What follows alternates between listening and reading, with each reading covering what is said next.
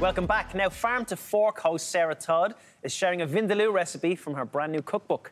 My Indian Kitchen, it's called. Sarah joins Uh. us now live from Melbourne. Hi, Sarah. Hi everyone. You always put me under so much pressure, and it, and it's a great thing because it shows how quick a curry can actually be. So Oh. it's a good test. Vindaloo, right? You're making that spicy. Yeah, exactly. So it's I like to make them a little bit more mild. So um, it's all about the flavour. So I've got onions here, and I've got chicken tenderloin, so that we can cook this really quickly. Um, of course, if you want to, you can make a, um, a slow cooked vindaloo and, and use a, a cut of meat that's going to tenderize and go really, um, you know, melt away. But let's keep it quick, easy, and simple. Beautiful. So you can use pork or lamb as well. Yeah, whatever I your have a favourite feeling is. I've had goat curry before. Would Oh, goat yeah. ever be used in a vindaloo? Yeah. But you'd have to tenderize yeah, that, of wouldn't course. you? And you know the thing of, well, you just yeah cook it for a slower amount of time. And the great thing about um, mutton is it's actually a more mild flavored meat. You would Yeah. think that lamb is stronger, but it's actually a milder taste than a, than a lamb. So it's great to go in these curries. Would a vindaloo be one of the spiciest curries? I love a curry. I've not really been a vindaloo guy. Um, yeah, it's spicy. yeah, I know you. You uh, with that accent, you definitely do love a curry.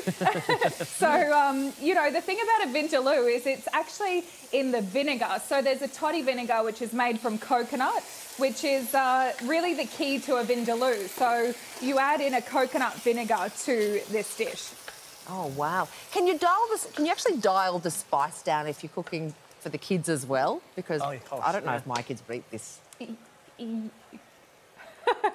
Yeah, you know what? It's great for the family if you just don't add so much chili. So, you know, the spices, I think this is where the confusion comes in. People think, oh, it's really spicy and, you know, it's going to be really hot. But spicy can just be, you know, um, cinnamon, cumin, coriander, which don't really have that much heat anyway. So, you know, you can play around with how much chili, of course. Yeah, we are talking to Sarah Todd, who's making a beautiful vindaloo um, from her new cookbook, My Indian Kitchen.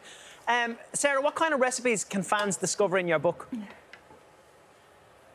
You know what? There's so many different options from street food dishes to, you know, beautiful regional dishes. And it's it's not those, you know, just those regular dishes that we all think is Indian food. There's lots of variety and it's really, you know, very wholesome. And people think, you know, it's uh, curry can be for that Friday night where, you know, you've had a few beers and you're just finishing off with a curry, but it's absolutely not that. So, you know, very beautiful dishes.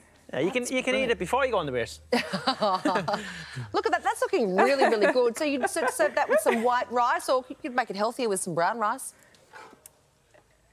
Yeah, exactly. And you know what? Even sometimes I just have it with a salad or, you know, whatever you want. You can really make it your own and it just is, um, you know, uh, really flexible. So I'm going to add that in with some basmati rice. I love basmati, um, especially this long grain rice. It's really fluffy and, and delicious.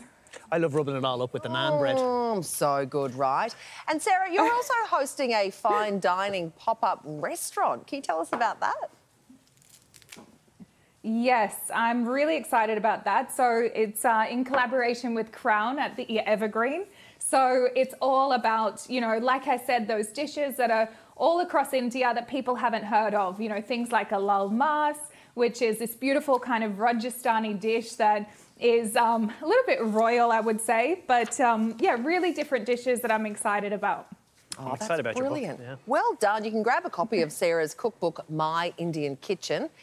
It's available right now at all good bookstores. Plus, you can catch Gorgeous Sarah on Farm to Fork weekdays at 4 p.m. right here on 10. Oh, it's always a good day when you're in to cook for us, Sarah. It's just a shame we can't taste. I know. I really want to pass it through to you guys, and I always love catching up. But next time it will be in person. Oh, super. We'll make sure we'll get your book and we'll make them at home.